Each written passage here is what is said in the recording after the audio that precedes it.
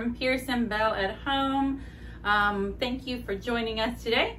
Today we're working on a, um, we're doing a Lazy Susan. Right now it doesn't have the laziness part of it yet applied.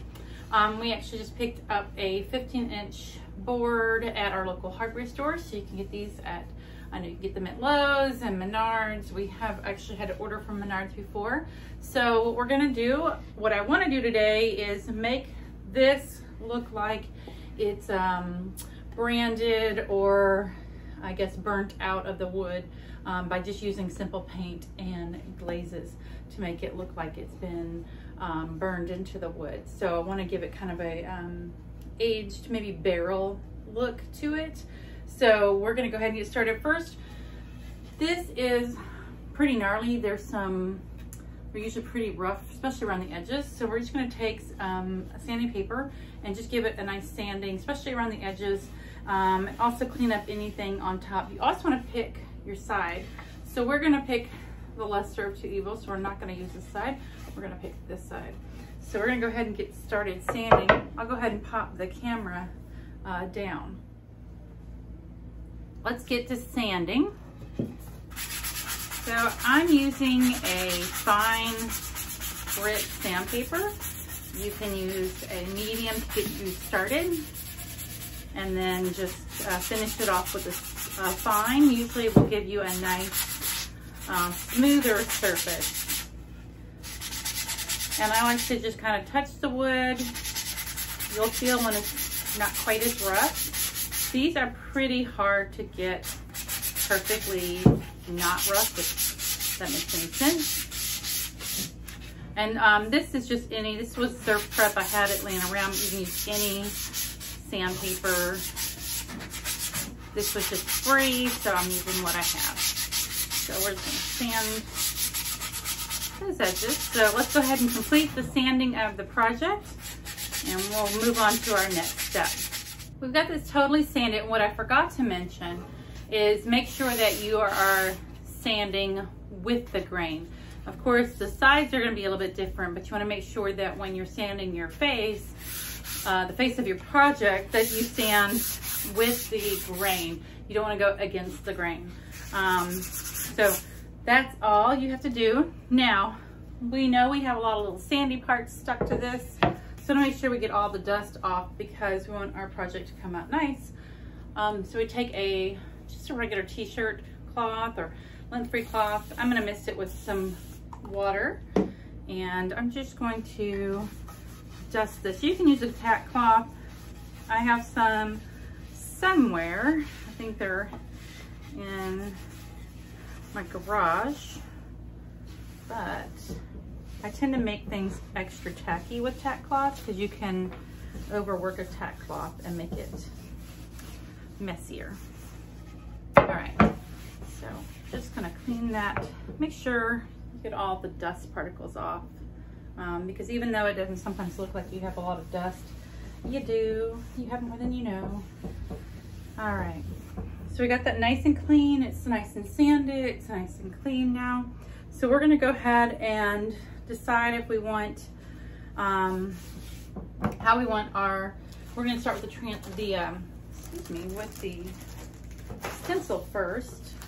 So these I get from Studio R12 and I like the weight of their stencils. All right, so this one is a 15 inch stencil, but when they cut our boards and they do this nice rounded edge, this is no longer 15 inches.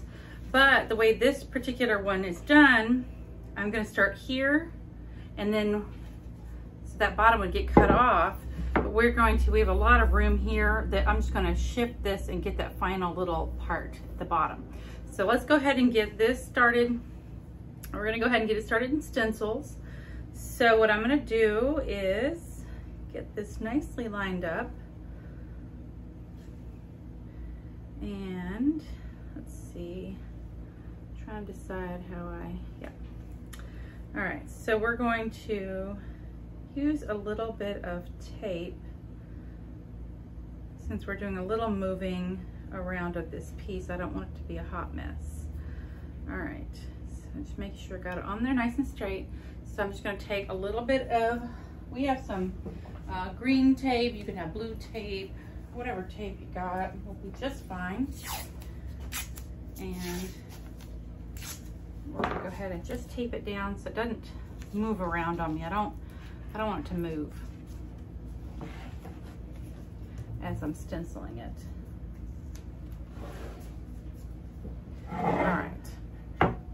So we're gonna go ahead and get started. So I'm using for our burnout look or the burn portions of our lettering, we're gonna use Dark Roast by Country Chic.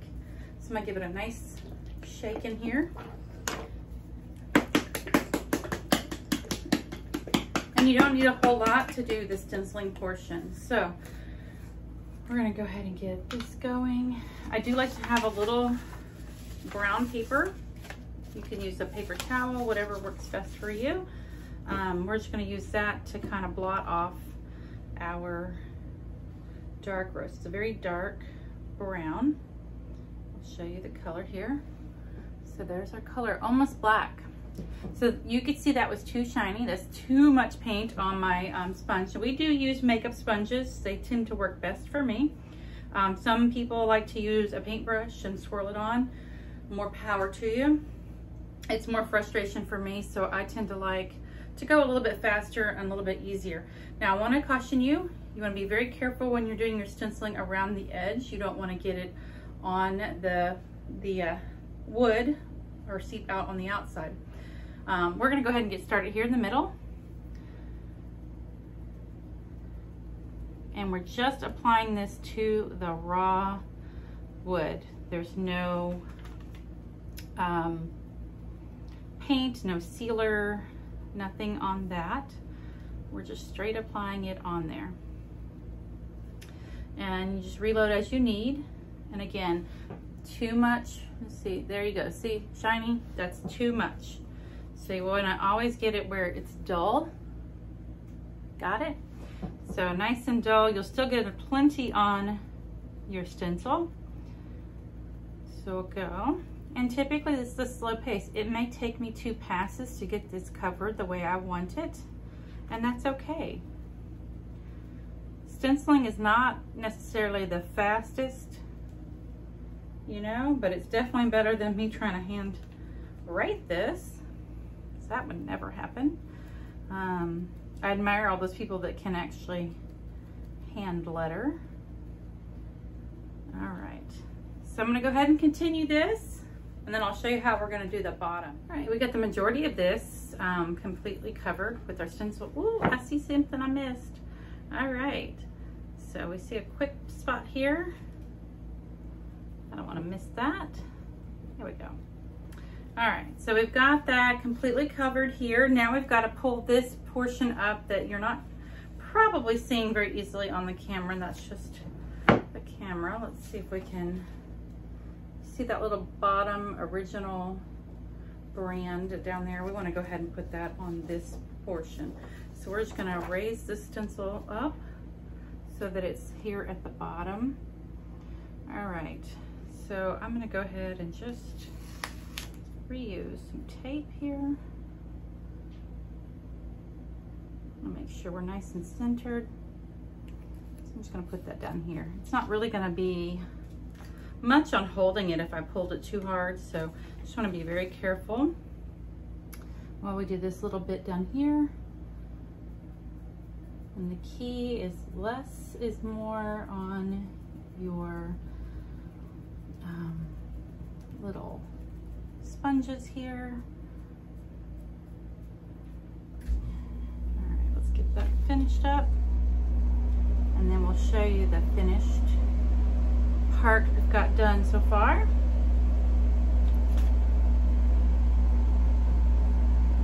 Just want to be careful around these edges so you don't get it on, it's a very thin spot between the words and the actual end of the stencil, so you want to be very careful. Alright, so we're done with all of our stenciling Let's go ahead and remove the stencil. All right. now you can wash your stencils. Um, these are thick enough. Um, I can wash them. You can actually soak them in an alcohol, rubbing alcohol bath um, for a few minutes, minute or so, uh, and your paint will right, wipe right off. So that I do love that. So if you got a big enough container to put your stencil in, you can certainly do that. I'm probably gonna leave this one for now. But, all right, let's show you what we got. So here we've got our paint on our Lazy Susan base. We're gonna go ahead and let that dry a little bit longer and um, then we'll go ahead and do our next step. So if you're doing this at home, I would let it dry about an hour or two. You want to make sure that your chalk paint is good and dry because you don't want to smear it when you're putting your glaze coat on top. So let's go ahead and get this dried up and I'm going to get ready, we'll go ahead and get ready to attach the base too. So we'll do that this next step as well so you guys can see how I attach our bases. Real quick, um, I do want to point out when you pull your stencil off, you're going to have a little bit of roughness on your uh, So It's going to kind of stick out a little bit. Just take a fine sandpaper and just knock that down. You'll feel it um, from being rough to um, pretty much being smooth with your piece. I don't want it to feel rough or um, kind of sticking up above everything else when I'm working on my um, finishing coat. So we're just going to dust that off real fast. All right, got that nice and dusted. Okay. And so what I'm gonna do next is go ahead and add the Lazy Susan. So we're gonna go ahead and flip this over and add that base on it. Okay, we've got our base. Now we pick these up, um, you get them at Lowe's, your hardware store, um, Amazon has these. These are 12 inch um, Lazy Susan base, um, and they just basically rotate. Um, and there is a right and a wrong way to put this on. So you do want to make sure that you have, um, there's going to be a big hole like this. That way you can line up your screw holes um, with no problem. A lot of these will come with little feet or nubbins. This one did not. So we do have our own um, little feet that we'll add on to it in a, in a little bit here. So just want to get this lined up. I'm going to try to get as centered as possible because if this is off-centered, your base will be a little bit wobbly gonna make sure that it's nicely centered. So what we're gonna do is take, um, we've got um, three quarter inch self-tapping screws that I like to use. Um, they're easy to get in. And we're just gonna screw that in. Okay, there's your first one. And we're gonna rotate this to find our second one. And these are very easy to install. Okay, rotate to your next hole there.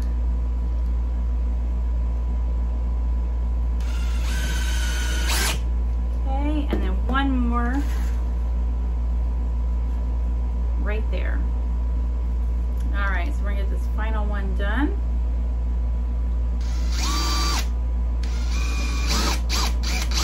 Of course, now it doesn't want to go in, right? There's like steel going on right there.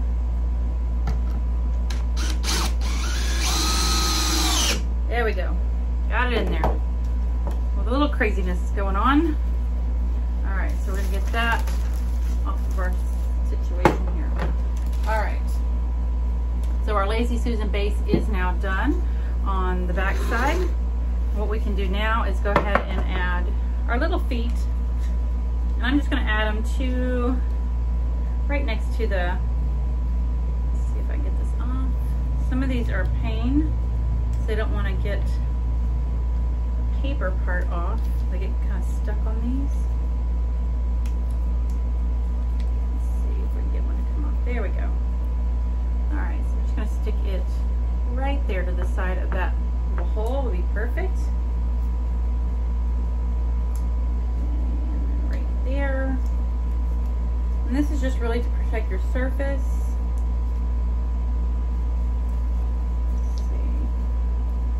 You can get any kind of little feet. You've got the plastic little nubbins like we have, and there's, of course, felt ones. There's also um, cork ones. You can do anything, any of those is fine. There you go. So that's attached now to your piece. Now it's ready to be used. Now we're ready to go ahead and glaze our piece. We want to go ahead and get our glaze on there and we're going to get it all on and then we're going to wipe it all back. I do have a water bottle in case it gets a little too dark for me and we can um, control that and kind of wipe it down if it's too dark and I'm not seeing a lot of my lettering here. Okay, so we're going to go ahead and give this a nice shake. And this is, oh, wrong one. We're going to give this a shake. We're using a smoky quartz is the glaze we're using today. And we're to give this a nice shake. And let's go ahead and open that.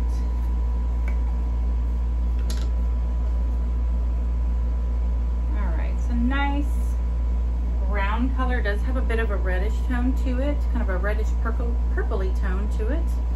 All right, so let's go ahead and get started. I'm gonna actually start on the edges first. I know that they're gonna get the darkest. And let's go ahead and get, it's gonna be easier for me to actually kind of have it hanging off the table here so we can get all of that nicely done. Let's get some more. We can be as generous as we would like. Of make sure you get all of the little gaps here. There might be little holes, little marks on the Lazy Susan, the little wood piece. You know how it was imperfect. Okay, make sure we're getting it all covered.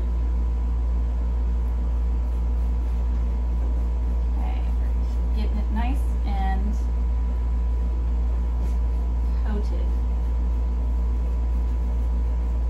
Okay, I'm going to keep going all the way around.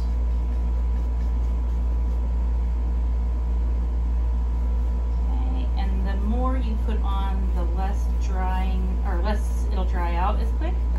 So put it on pretty generously. It'll be nice and um, wet for you. That way you can have a little bit more work time on it. So we're going to go ahead and just apply it generously, the, the piece you're working on here. We are, and these are pine, so they are, different woods will soak up your glazes differently.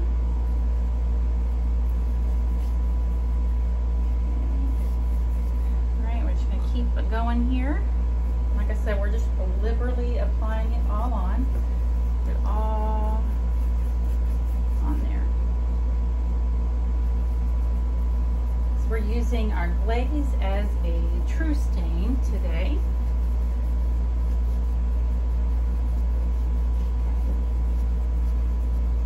All right, so we've got it nice and covered. The whole thing is covered. And now we're going to take a clean dry cloth and wipe it back. Okay. Start with my edges first. Okay, and we're going to go with the grain of our piece.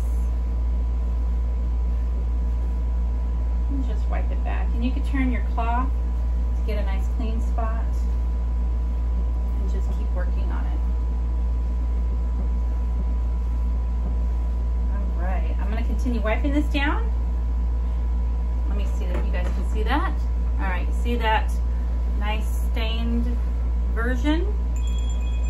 All right. Now we're ready to finish up our Lazy Susan. Here's our dried glaze over our paint. So again, we used our dark roast for our uh, stencil and then we glazed with smoky quartz and now we're ready for a final touch now I'm going to use the country chic hemp oil now I will tell you it is food grade however please note it is not made or manufactured in a food grade facility so technically it is not suitable for you to put food on so Um, this would be really for your dry goods, um, like, you know, plates, um, glasses, your whiskey, uh, those kind of things. If you're putting food on, I would put a uh, one of those paper doilies or a plate over this. One, you don't want to stain this piece because you're not going to be able to submerge it in water. Once you've got that, that will rust. Um, if you want to put foods on it, I would suggest finding a hemp oil or a um, cutting board oil that is suitable for uh, food safe product. Again though, I probably wouldn't um, just because I don't want to have to submerge that in water. I just want to wipe it off with a damp cloth and that's basically all I want to do. All right, so we're going to go ahead and apply our hemp oil and I'm going to apply it with a chip brush so I can throw it away. And it is a greenish color. Uh, hemp oil comes in many colors from super golden um, to greenish and it will give it a nice patina on this piece. So let's go ahead and get it nice and liberally applied. What's going to happen is your piece is going to soak up what it needs. Um, same thing with furniture, so you can use this to seal your furniture. It's great for dark colors, so it will not leave any streaking if you struggle with um, streaking with the darker colors when you put a top coat. Um, this just leaves a nice, beautiful, soft patina once it's nice and dry. So you'll let it sit. Um, usually I go ahead and wipe it all on there and we'll go ahead and wipe it back and we'll come back and revisit it later. Um, whatever didn't absorb in will be sitting on the top and you can uh, wipe that portion up. So we're getting that around the edges and everywhere. So again, like I said, your piece will soak up all it needs and anything that's sitting on the top of the surface is what's not going to absorb into the piece, painted or stained or raw wood. This is great revitalizer for raw wood. All right, and I can see parts where it's really soaking in and then some parts it's not. And that's just, woods can be drier and not as dry in some spots. So I apologize ahead of time, or I should have apologized ahead of time. I do not have my mic. We just got a new phone and I've got to get a converter or what have you for our microphones. So with that, I apologize. All right, we're gonna go ahead and let this, normally I'd let this sit a little bit longer, but for the sake of the uh, video, we're gonna go ahead and start wiping some of this back. Um, and I can see, I wish you guys could see here on the camera that some of that has already, it looks pretty dry right here because it's really soaking into, let's see, there, maybe right there, you can kind of see it soaking into that, um, the wood. So it's really taking the hemp oil, which is great. So let's go ahead, I'm gonna start with the edges, just kind of gently wipe that back. And again, same thing as the glaze. You're just going to kind of wipe gently and turn your cloth as you need it. And you want to make sure you're working with a lint-free cloth. If you have a cloth that's going to lint up on you, you're going to leave a lot of lint on your piece. If that happens, just let it dry and you can kind of dust some of that off. I've had it happen before. So not a big deal, but it just makes it easier for you to not have a linty piece.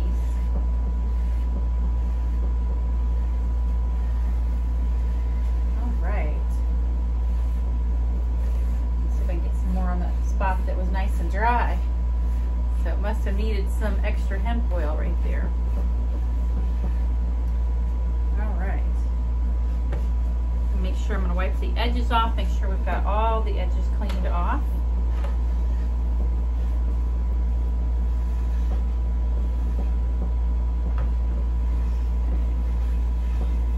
All right. That nice and clean. And there's your finished product. we'll go ahead and get that photograph for you so you can see it. The shine will dissipate. Um, once that kind of absorbs in and dries up a bit, you're not going to have um, a shiny piece. It's going to be pretty um, matte finish. But that was an easy project to do. It'd be a great gift, a great housewarming gift. Um, it's really fun. I love this piece. Um, I loved creating that. So you guys, I hope you enjoyed um, our tutorial as much as I enjoyed creating it for you. And as always, happy painting.